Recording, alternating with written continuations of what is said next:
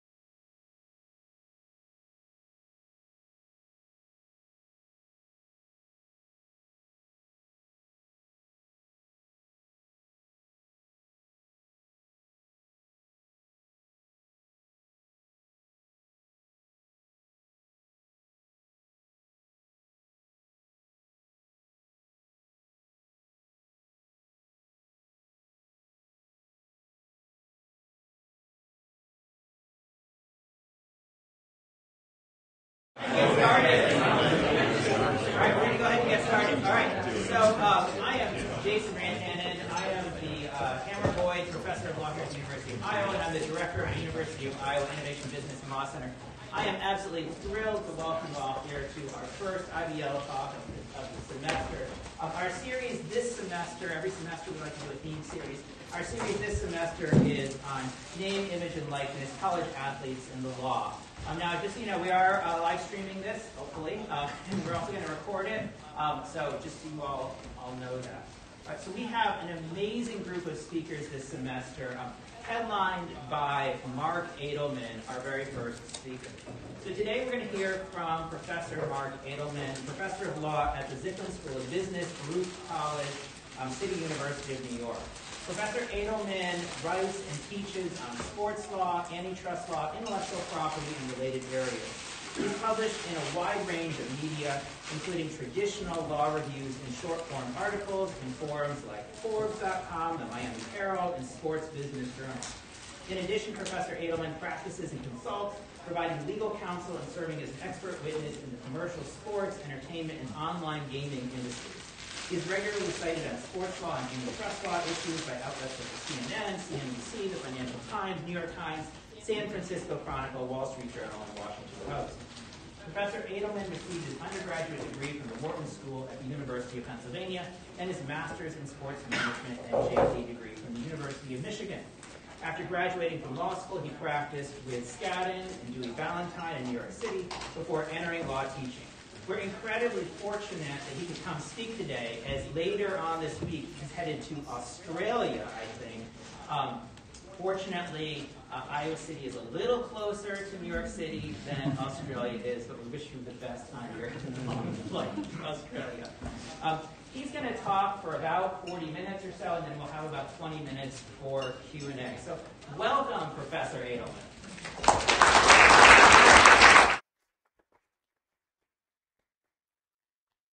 Thank you very much for having me here today.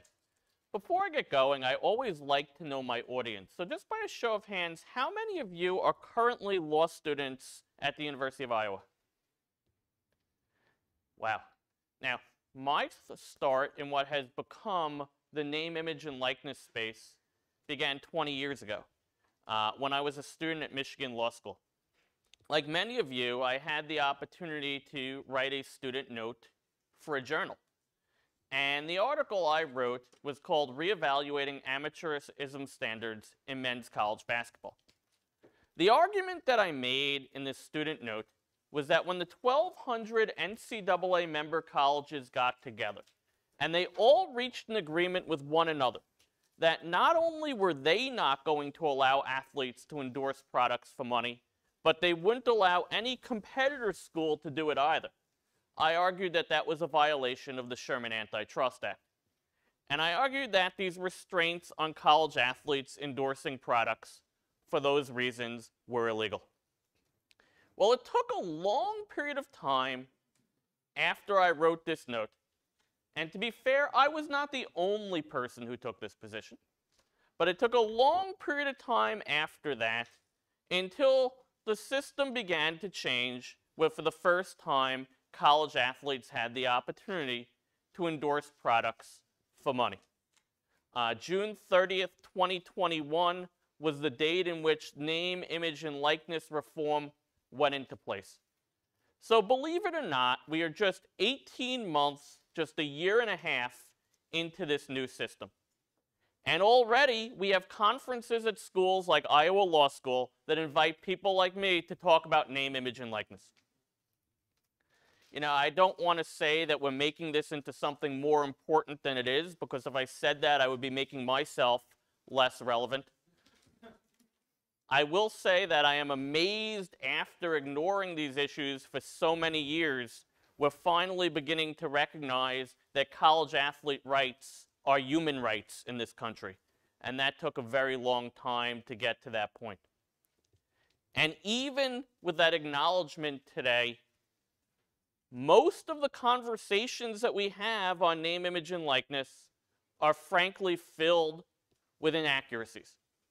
And even if we listen to the best sources on TV like ESPN, or read a lot of what's going on, comes out of the newspaper about name, image, and likeness, a lot of it is not exactly correct. So, with the honor of being the person that gets to kick off the name, image, and likeness seminars here at Iowa Law School, I'm going to spend about 40 minutes from the best that I can to give a perspective of name, image, and likeness reform, the real way name, image, and likeness reform came to be, which is going to be a bit different from the NCAA story. Uh, a lot of the positives that have emanated out of name, image, and likeness reform, and some of the challenges that we will see going forward. And I'll speak for roughly 40 minutes. Uh, the last 20 minutes will be question and answer. Uh, you're free to ask me anything you want. I have no idea what you guys are going to ask me about, Iowa Swarm, but I'm happy to address any questions related to name, image, and likeness, and perhaps even some things that are more relevant specifically on this campus at Iowa or anything else you'd like to ask me. But it's a pleasure to be here. Now, I usually do not speak with notes, and I'm not going to make a break from that, but I have a few numbers just on an index card here. Uh, I believe that the best way to begin discussing name, image, and likeness in college sports is to begin with a broad economic overview of the college sports industry. And because I know that many people at the NCAA will disagree with what I am going to say, the numbers that I'm going to use are going to come from a source that the NCAA cannot object to themselves. And I'm going to read these numbers directly because these are NCAA numbers. These are not numbers from people trying to load the deck in a specific direction. This is the numbers that the NCAA used. And I'll put away this card in just a moment. The rest of it I could do off the top of my head. In 2019, the NCAA put together a budget presentation. This is according to the NCAA themselves. They claim that the revenues from Division One college sports were $15.8 billion. Now, they then conceded that their own number of 15.8 was too high, and I agree with them because some of that amount actually came from student funding out of tuition dollars directly given to college sports. So we could reduce that number by about a third, and we have $10.2 billion that is generated in revenue from NCAA college athletics. $10.2 billion. Now, amongst the $10.2 billion that's generated from non student tuition fees towards education, an overwhelming share of this amount comes from 75 to 100 colleges. And within these 75 to 100 colleges, an overwhelming share of that amount comes from, we could say one or we could say three sports, with football being dominant, then men's basketball and women's basketball. There are colleges that are now bringing in over $200 million a year in revenue from their athletic department, led by the University of Texas and the University of Michigan. If you're curious where Iowa stands on this list, according to the Wall Street Journal, and I'm not sure if Iowa finished in the top 25 in football rankings this year, but according to the Wall Street Journal, Iowa finished number 18 in revenue coming from their football program. And this is not all their sports, just their football program. At just over $100 million in revenue from their football program this year. Now, if you add in men's and women's basketball, my guess is that number probably falls in that 115 to 125 million dollar range. To put that into perspective for people, and do we have any NHL fans here? So a few of you like the National Hockey League. The Florida Panthers play in a suburb of Miami. They play an 81 game season, plus after the season, if they make it, they play in the playoffs. The Arizona Coyotes play in a suburb of Phoenix. They play an 81 game season. Contrast that with about the 12 game season that the Hawkeyes play. And make no mistake, Miami and Phoenix are major metropolitan areas. Iowa City, not so much.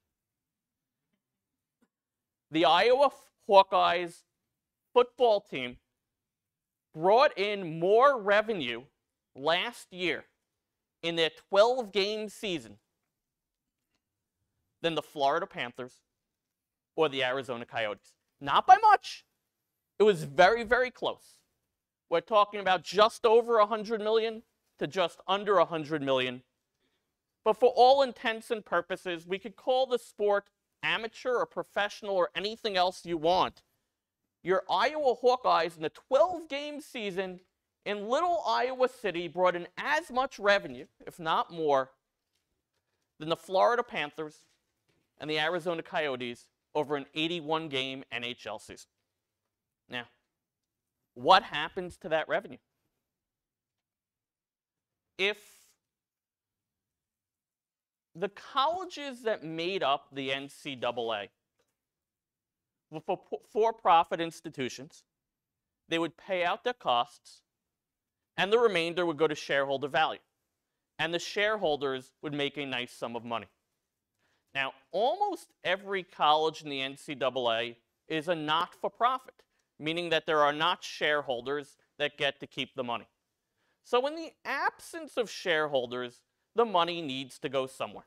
Whether it be the $100 million each year that Iowa brings in, whether it be the close to 200 million that Texas brings in, whether it be close to the 25 or 30 million that Rutgers brings in, for all of these 75 to 100 schools, the money needs to go somewhere. So some of it might go back into education. Some of it might go into other sports. And this is the message that the NCAA likes to tell us. But a lot of it goes to a very limited number of employees at these schools that, while not technically shareholders, walk away with above market salaries to reflect the fact that they have brought in this revenue. Now, to illustrate this point, um, in 42 out of 50 states, the highest paid state employee is either a football coach or basketball coach at a public university. There are currently three coaches in college football who have salaries of greater than $11 million per year. Nick Saban, Kirby, Kirby Smart, uh, and the guy from over at Clemson, all over $11 million per year. There are only two NFL coaches who make more than $11 million per year. So, in the schools that are making the most money, they're paying their coaches more than NFL coaches are being paid. You have assistant coaches who are making one, two, three million dollars a year. You have athletic trainers who are making $500,000, $750,000 a year just for working for the football team. Well, what about that other labor source? What about the college athletes that play in these games? Well, historically, the NCAA member schools have gotten together and they've all agreed with one another to what they call the principle of amateurism. And historically, that rule meant that no member school could compensate the athletes uh, for what they provide on the field beyond the cost of an education. Now, in terms of what that means for college athletes, according to a study that was jointly commissioned by an association seeking to organize college athletes and Drexel University, 85 to 86% of college athletes currently live below the poverty line. And if we want to talk about the athletes who play football and men's basketball and women's basketball, not only are these athletes who are disproportionately living below the poverty line while making huge sums of revenue for their schools and coaches, but if we want to look in terms of socio-demographics, these athletes are very disproportionately African American. So we have a huge disproportion of African American athletes that bring in huge sums of revenue for universities who are not who have not been allowed in any way to share in the revenue. And the money is funneled not even all back into education, but to having these coaches and athletic directors who make many millions of dollars per year in salary off the backs of this labor force. Now, Taylor Branch who is a civil rights Pulitzer Prize winning author, had described this system as having the whiff of a plantation. I am not going to take Taylor Branch's terms, but I will say at a minimum, this seems hugely problematic. And the NCAA, which is a trade association of colleges, had not for a long time done anything to change the system.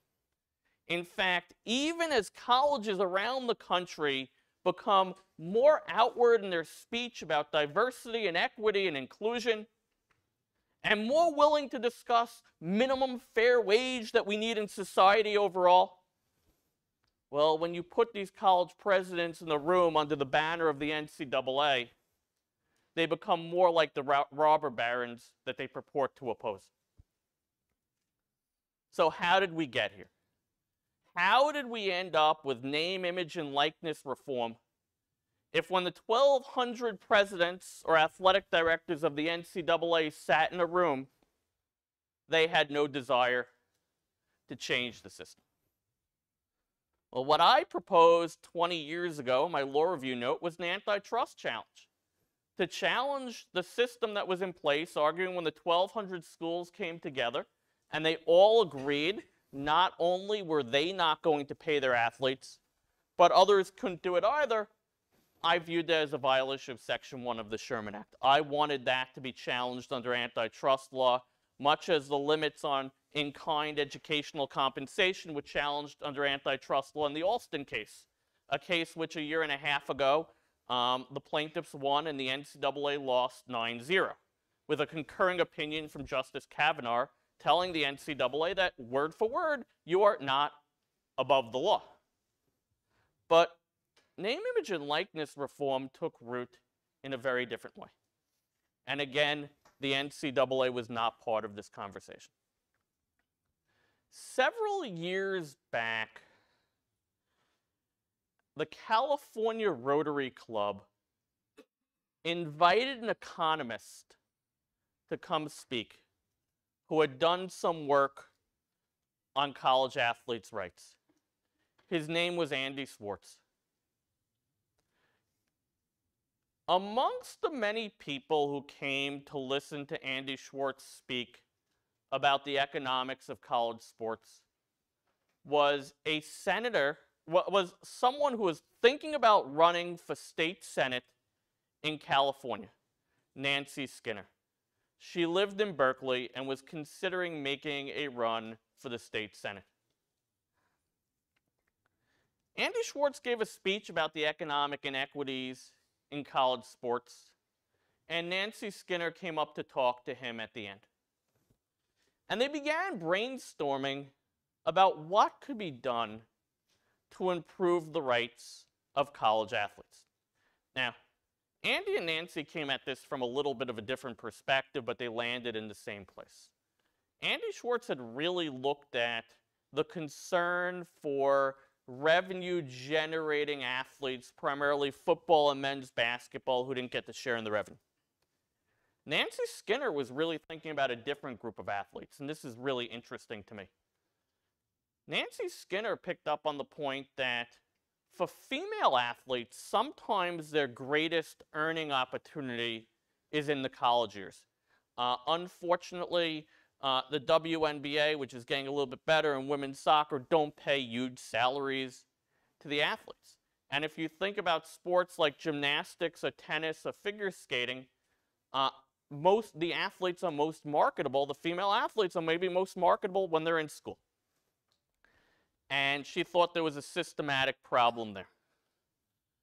They had played around with trying to propose something to ensure college athlete pay but they were not sure if society or even California's Congress would be on board. So Nancy Skinner and Andy Schwartz got together with a third person by the name of Ramogi Huma, who had tried to organize college athletes and particularly college football players for a long period of time. And they proposed in the state of California the passing of a bill called the Fair Pay to Play Act. What the Fair Pay to Play Act attempted to do was it attempted to create an affirmative obligation that if you were a college in the state of California, you had to allow your athletes, if they chose, to endorse products for money. Now, none of this was about pay for play. None of this was about schools paying their athletes directly. None of it was about shifting all of the revenue that came into universities to the athletes. It was simply they would not be allowed to take steps to prevent athletes from endorsing products. The NCAA, in classic NCAA form,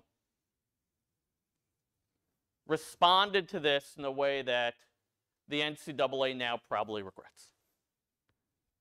Their response was they sent a cease and desist letter to California's legislature and included warnings that if California passed this requirement where California member colleges had to allow their athletes to endorse products, the NCAA would no longer allow California schools to participate in postseason sporting events.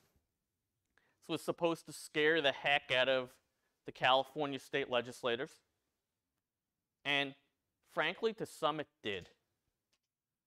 Now, on I believe it was July 9th of 2019, uh, there was a hearing in the state of California about whether to support this bill.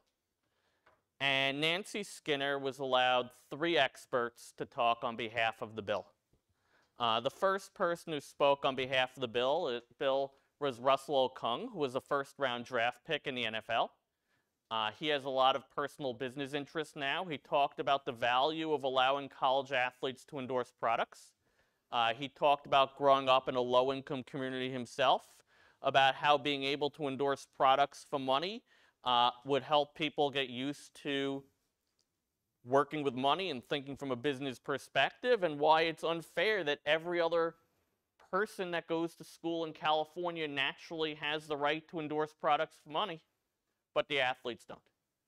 And if we think about this in this world of Instagram celebrities, there are people all over the place at the University of Iowa that I'm sure endorse something for some sum of money. The thought of allowing everyone but the athletes to do it seemed bothersome, and he was the first speaker. The second speaker that day was Haley Hodson. Now, Haley was a, a volleyball player at Stanford University, and then she went on. At the time, she was a law student at UCLA. Uh, she is now a practicing lawyer in New York. Uh, the NCAA had tried to make the claim that allowing athletes to endorse products would have only helped the football players and not helped women's athletes. So Haley spoke about the opportunities that had been passed to her to endorse a, a sunglass brand that she had to turn down to comply with NCAA rules and really brought doubt to this argument that it wouldn't help a greater range of athletes. Now, the third speaker that day was me. And I was brought in as the antitrust expert to speak on behalf of the bill. Uh, the NCAA had threatened to ban California member colleges uh, if they allowed their athletes to endorse products for money. Uh, my job was in 180 seconds. You guys gave me 40 minutes plus 20 minutes of questions. I had three minutes there. And I had to explain to the California legislator in three minutes or less why it is that the NCAA threat was not real. I explained that if 1,200 member colleges got together and they threatened to ban certain schools for giving commercial opportunity to their athletes, that would be a group boycott and restraint of trade in violation of Section 1 of the Sherman Act. I think I was successful because there were two Republican Congress people who were ready to vote against the bill, not because they didn't agree with it, but because their college ADs said we don't want to get banned. And they voted for it unanimously. Uh, they were persuaded, and rightfully so, that the NCAA's threat was just that. Now, to me, the story gets more interesting still because California's bill had this four year delay period to go into effect. And I am far from an expert on how state statutes passed, but as it went through, uh, someone with a loud mouth and a lot of opinions said, We don't think it's going to go through if it goes through right away. We need to give California an out. We need to give a delay. What do we do about athletes that are already there? So they put in this restraint that said, Well, this doesn't go into effect for four years unless some other state passes a bill that allows college athletes the rights to endorse products first. Here's where things get interesting. I'm going to have a tangent and I'm going to come back. The tangent is cartel theory.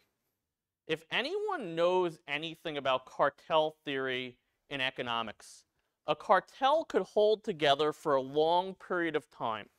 But as soon as one entity breaks away from the cartel, the cartel could fall very quickly.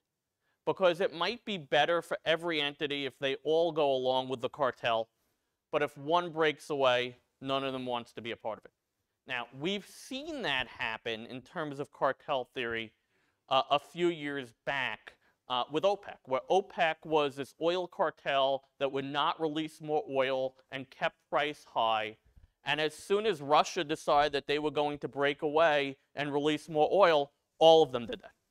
Now, we probably would have seen a complete fall of OPEC, except, and I'm not going to get into foreign policy, a former president of, this Uni- of the United States thought it would be a good idea to sit down with OPEC and help them get back to colluding. Yeah, I think you know my views on that one. The NCAA is an economic cartel. And it was good enough for many if no if no school in any state was allowing athletes to endorse products for money. But the minute that California changed its law, huge sports fans in other states got very nervous. And the first state to get nervous was Florida. You see, Florida has some very good sports programs over the years. The University of Florida, Florida State, Miami, they like the fact that traditionally they're nice, they're nice weather and their beaches and other things that some people might like about Florida help them recruit top athletes. Their fear was many of these athletes will no longer choose Florida schools. They'll come to California. Because not only do parts of California have nice weather and beaches, but you could also go to California and endorse products and make money. So Chip LaMarca came along, who was a state senator in Florida, and he in essence said, I'll be darned if we lose these athletes. We need to pass a bill too.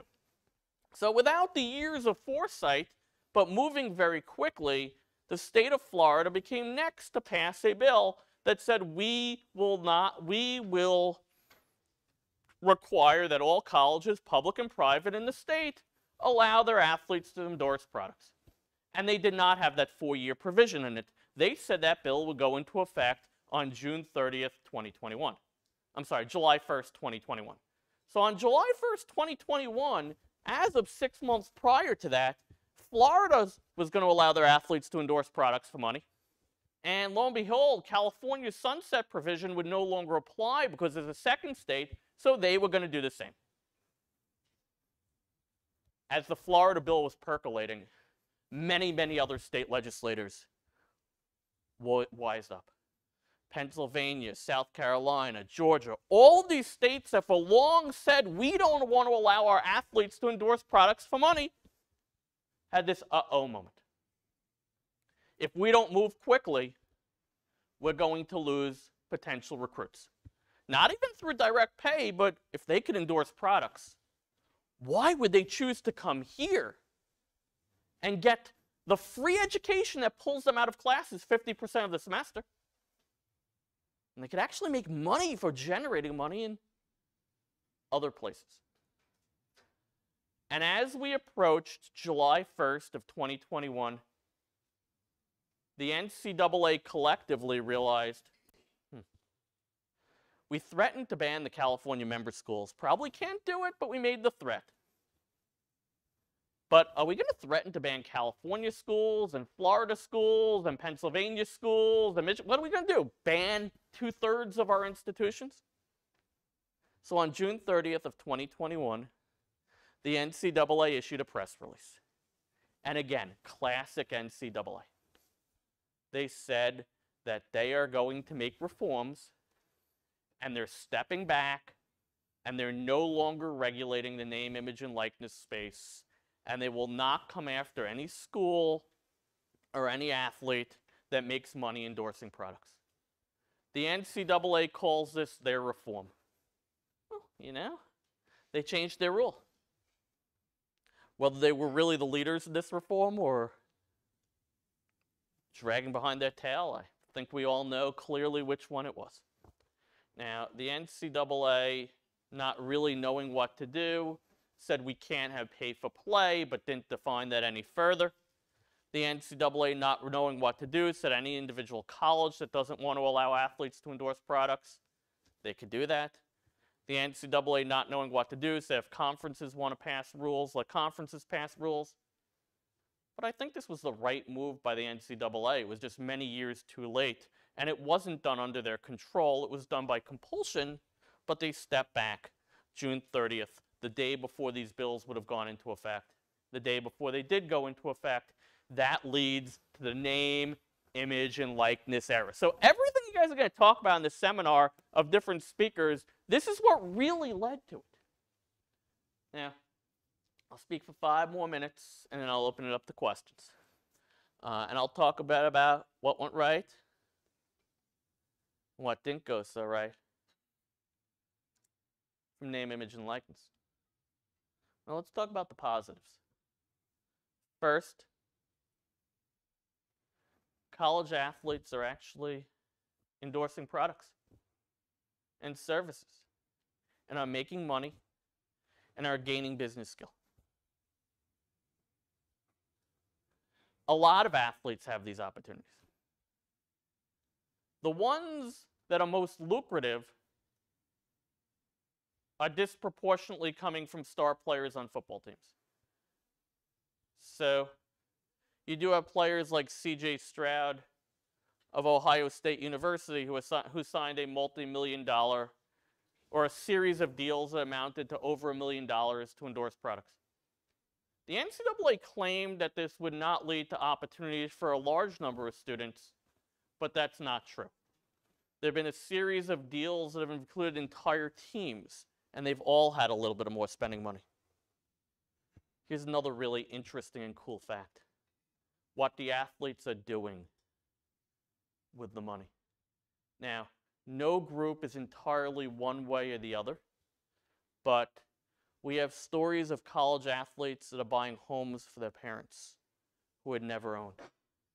There was a very well known story about a college athlete who did something for his entire team. There was a story on YouTube, and it's kind of hard to watch this one without getting into tears. He was a college athlete, his older sister was not. He signed a name, image, and likeness deal, and the first thing he did with his money paid off every cent of tuition for his sister.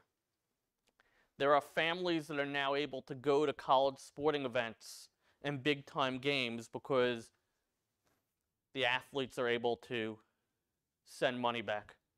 Apparently, there's money going back in many cases for rent, for housing, for shelter, for food, for athletes. Dispelling a lot of the myth of what certain NCAA individuals had claimed that the athletes would do if they earned money. Another myth was that there wouldn't be opportunities for female athletes, which is proven to be very much untrue. Uh, one case, the gymnasts are doing especially well. Uh, my understanding is the highest earner from a true name, image, and likeness deal at this point is a gymnast at Louisiana State University, Olivia Dunne. Uh, there was an article in the New York Times, which I'm neither going to agree with or disagree with, uh, that brings out certain concerns about how some of the female athletes who've earned the most money uh, have also been targeted based upon their appearances as opposed to just their pay. Um, but for whatever it's worth, there are a number of female athletes as well as male athletes who are making real sums of money endorsing products. This is life changers for a lot of people. Truly life changers. That's the positive. As far as the negative to date, this whole name, image, and likeness world has moved incredibly quickly over an 18 month period. And unfortunately, sports agent law in this country lags behind. A lot of that, and it's a different paper I've written, a different topic for a different day, is the NCAA's fault as well. That the Uniform, Uniform Athlete, Agent Act, Act, which was proposed by the Uniform Law Institute, is supposed to regulate sports agents to ensure that sports agents have the best interest of the athletes in mind. Um, but in the drafting committee, there was a former chancellor at the University of Nebraska who sat on that committee, uh, who at the same time had a very high rank within the NCAA. Uh, and despite what the bill was supposed to do, it became a bill that primarily served the interests of colleges and made agents disclose deals to colleges as opposed to put an affirmative obligation on the agent to advocate for their athletes. Which means in a very short period of time, we have these athletes that once were being exploited terribly by the NCAA, and many would argue they still are because they're not compensated directly by member schools now have a ton of people that are saying that they want to be their agents and they want to help them sign name, image, and likeness deals. Some of them are good and have good intentions. Some of them are bad and have bad intentions. Some of them have the best intentions, but things go awry. And there's very little regulation of this space. Some colleges want to regulate their space themselves, but what credibility do they have at this point? They fought against name, image, and likeness for all these years. They cried wolf. Do they have the credibility to advise athletes right now on what's good and what's not good for them? And then we have the emergence of the name, image, and likeness collectives, which I think is going to be a major topic for the next several years. The collectives are fascinating. The NCAA member schools maintain these rules that say that no college could directly compensate their athletes. Now, I am of the belief that this NCAA rule, much like many others, violates antitrust law.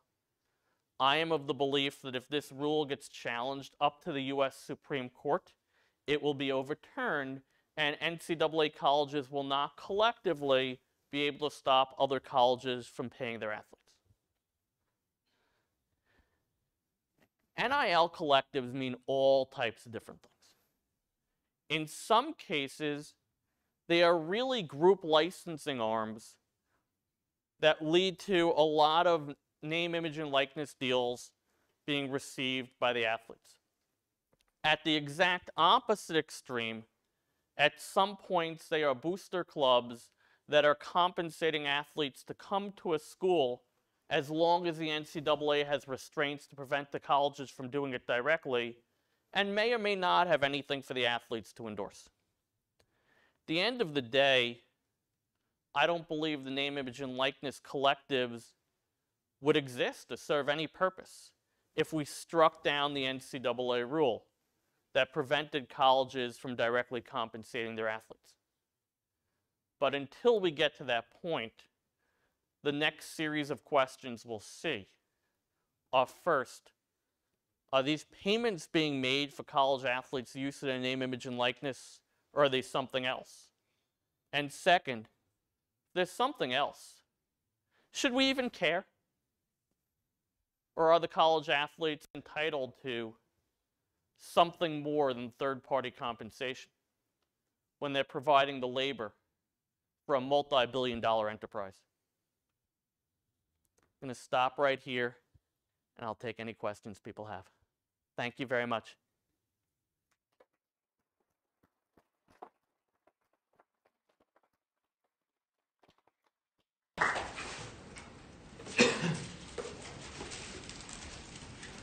Um, Um, do you want, do you want- uh, Jason, Jason, do you want do me you to want take to take questions? Do you want Yeah, why don't you take questions directly? Okay, that Okay, that sounds sounds good. good. Um, Um, come come right, so we go one, two, three, I know I have three off, and then I'll take whoever's after those three.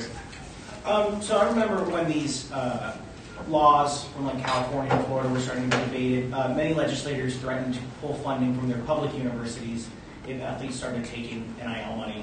Uh, did that ever come to fruition in any state uh, since NIL become uh, legal from the NCAA?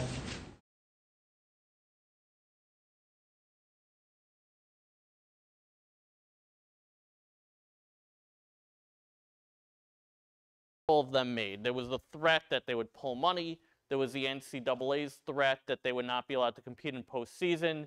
There was the threat that we're going to have large sums of athletes endorsing all types of vice. None of that ever came to be. These were just threats.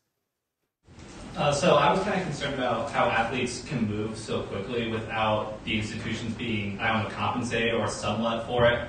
Like now there's, it's a freshman is a big year. I'd say Iowa State last year a big basketball player, went to Texas for a lot of money, uh, everyone assumes. So in other sports like football, you know, they would get trade value back and they'd get transfer fee back. Is there any mechanism like that do you think needs to exist in this NIL field to kind of keep the institutions whole, like the smaller institutions, I guess? That's a great question, Sir, sir. what's What's your your name? Ethan. Now, Ethan, I'm assuming you're a law student, right? What do you want to do when you graduate? Pra- practice law. What's your dream firm to go to? Faegre. Let's say you go to Faegre, and you work there for a couple of years, and they, and train, they train you, and you and you decide, decide you don't want to be a Faegre anymore. Maybe you want to come for some crazy reason. You want to come to New York and be at Skyhawks, where I began my career. Should you be allowed to do that? Yeah, because I would think that would be an at-will employment situation. Now, it's no different in college sports. sports. I mean, if it's at best at will, the schools will claim it's not even employment. I mean, Jennifer Abruzzo, the head of the uh, the general counsel for the National Labor Relations Board, um, believes it is employment. That's going to be a question for the next few years. But at this point, you know, there is nothing they're claiming. If you want to take the words of the colleges and the NCAA, they claim they're students. Now, if the claim is that you're a student, you should be able to move at any point in time. But even let's suppose you're not a student. Uh, currently, the FTC is looking to strengthen its rules that prevent non-competes. Uh, that's currently going through the process. Even without strengthening those rules, typically, as a matter of antitrust law, an industry-wide non-compete would be seen as a violation of antitrust law. Uh, so in essence, what these transfer rules are, are really non-competes, uh, which very likely would be found to be illegal. Now, your next question is, why don't we have this? Why do we have the transfer fees that are paid in FIFA? Why don't we have the players freely moving? um, in professional sports, and there's an easy answer to that as well.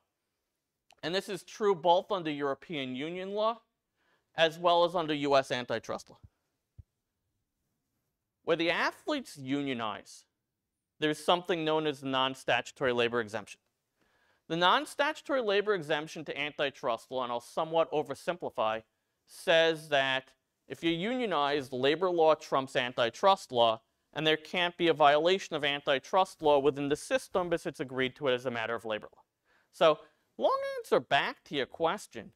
If the NCAA member schools decide that they are no go longer going to challenge the employee status of college athletes, and they will support or agree to some form of college athlete unionization, and they enter collective bargaining over the mandatory terms and conditions of bargaining, hours, wages, and working conditions with their athletes.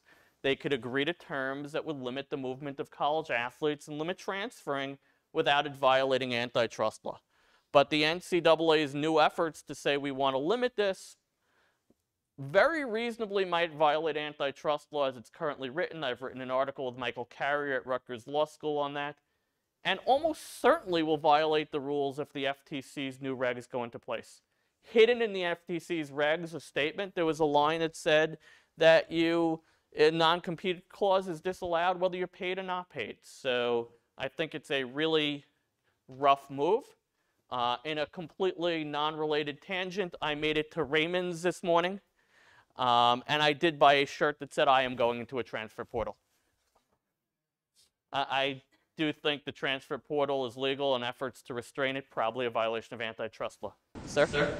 Um, so I say this being following Swarm and how I was handled the relationship between the collective and the university. But in your experience, what is that like at other universities? Do you see collectives becoming the ugly compromise that lingers, or, or I guess how do you view that relationship here compared to other places, and is it sustainable? So one question. It It seems seems as if, from what I've seen in the news, there's been greater criticism of the Iowa Athletic Department's relationship with Swarm with their nil collective than we've seen in some other places, and perhaps greater efforts by the University of Iowa uh, to maintain independence from the collective in certain ways. Uh, let me answer you broadly, and then I'll come back and I'll talk about Iowa specifically. To me, the nil collective is an unfortunate, nece- unnecessary, and should be obsolete. Now, I mean no disrespect to anyone who's running nil collectives. We shouldn't need them. We shouldn't need them because if you believe in capitalism and you believe in Adam Smith's view in Wealth of Nations that capitalism works, if there is somebody that wants to sell a service and someone that wants to purchase a service outside of extreme examples, there should be a legal marketplace. And if we don't have a legal marketplace, an underground marketplace will emerge. And we could turn to all types of different examples to support this. You know, during a war on drugs, we didn't manage to get drugs out of this country. We had underground drug dealers who sold a substance to people who wanted to buy them. Until states began legalizing sports gambling, we didn't not have sports gambling in this country. We had illegal underground markets. In the former Soviet Union, as the USSR fell, when there were certain bans still in place on the sale of luxury goods, we didn't have no luxury goods that was sold in the former Soviet Union. We had underground markets. The NCAA could have any rule in the world that it wants to call its internal bylaws, whether it's legally enforceable or not. So they've decided that they want to have a rule called the principle of amateurism that says no college may pay their athletes. Now, if you read the Alston decision, we know that's never been the case. We know from the very beginning of college sports, athletes have been compensated under the table. Whether you want to take the SMU scandal from the 1980s or more recent scandals, there always has been underground payments from schools that want to recruit the best athletes to athletes to induce them to go there. The entire Adidas scandal was payment of to assistant coaches to try to induce athletes to go to places. And when you don't have the legal markets, the upfront markets, you get these black markets that are sometimes more disgusting than the worst real market. And I'll give Louisville as an example, where you couldn't pay the athletes in kind. So they had strippers and other types of people that were being introduced to the, the prospective athletes to try to get them to go there. Rick Pitino's Louisville. Now, now that the NCAA has said we are not going to regulate name, image, and likeness, we have these associations of boosters who would love to see the teams do well, who are very happy to transfer some of their own money to certain athletes to induce them to come to a school.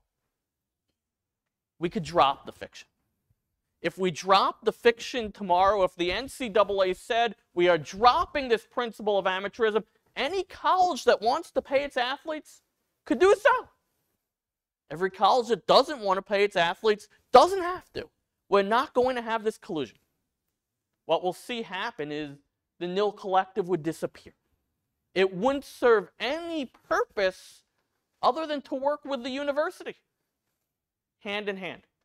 There might be some colleges out there like Harvard that might still choose not to pay their athletes. They might feel we're Harvard and people are coming here for the education at Harvard and we don't have to do it. There will be many colleges that are very quickly will jump on board with paying their athletes. Alabama likes being number one. Alabama will certainly pay their athletes. Many, many schools like Iowa will have to have the difficult decision. They want to continue to be tops in football, want to continue bringing $100 million a year in revenue. Well, you need to entice some of the top schools, top athletes to come here. It could all be done above board.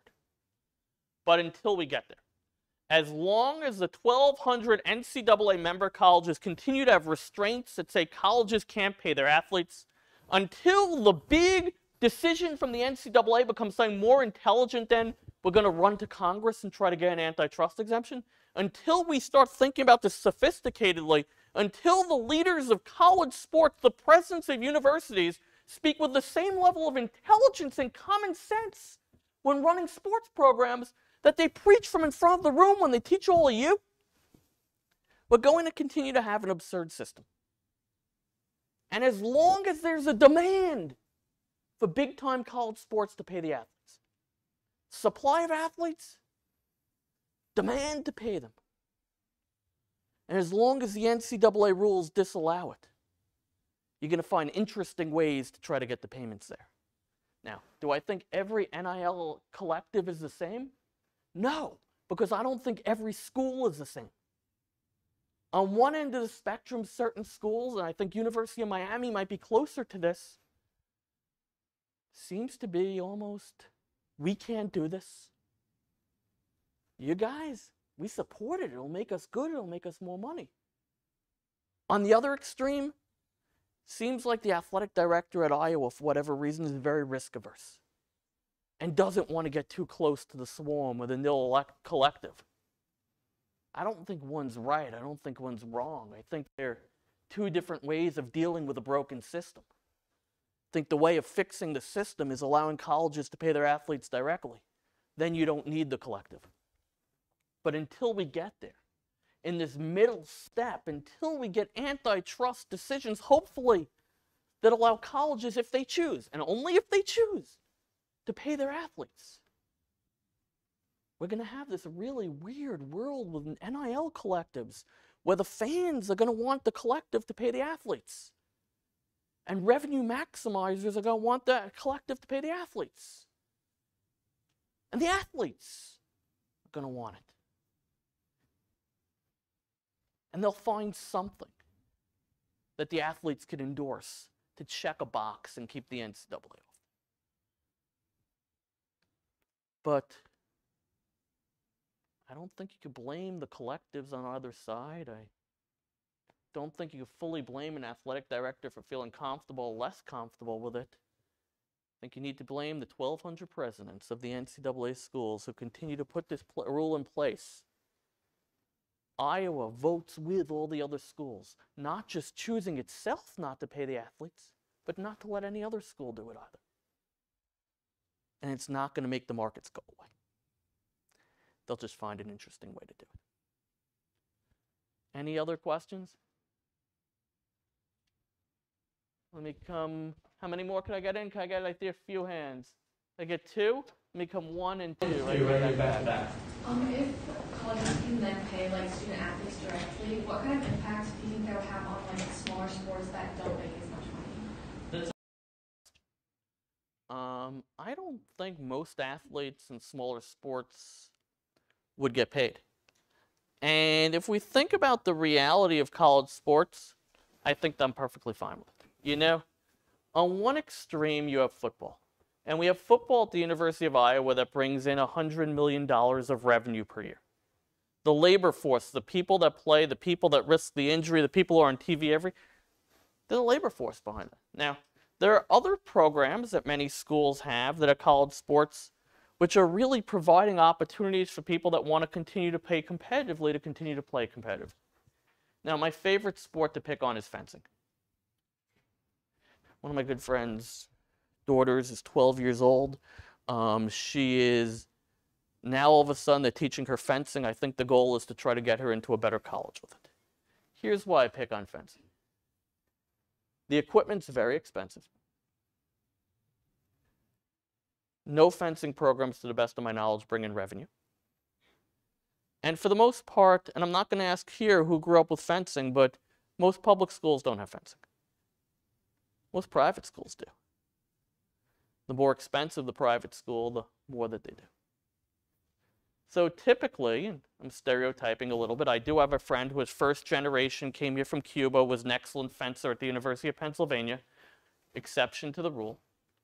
But you have these fencers and squash players and golfers who are already from places with means, who are generating no revenue, who are then given the opportunity to play a sport and have the expensive equipment provided for them. Whereas you have athletes in other sports that are from lower income communities who are bringing huge sums of the revenue who don't get it. So I don't think you're going to lose all of these other sports at other schools. Uh, I do think that maybe they might be done a little bit more cost effectively in terms of travel. Uh, I don't think every school is going to have every sport. Um, and I don't think the athletes that play are really going to be bothered about not being paid by the schools directly. I think they would continue, in certain cases, to be able to get endorsement deals.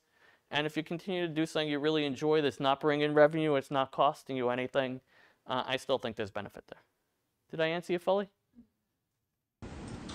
Do we, do we know anything about how the NIL revenue is affecting the relationships amongst the team members? Because you're going to have most of the team that's not getting these deals. You know, that's. It's interesting. I mean, what you're seeing the, you know, football's interesting, but in a lot of cases, there's deals for whole groups of players and a whole lot of players.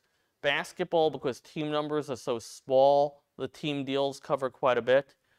Uh, the place where I've seen the biggest disparity, to be frank, is women's gymnastics. Uh, where you have the few who are Olivia Dunne's, who are making multiple millions of dollars a year, uh, and the majority who are not. But I don't think for any college athlete this is going to be the first time where there are haves and have nots. Uh, for those of us that went to college, there were haves and had nots all the time. I went to the University of Pennsylvania. Uh, there was a bar on campus called the Palladium. Uh, 10% of the school drank at the Palladium on a regular basis.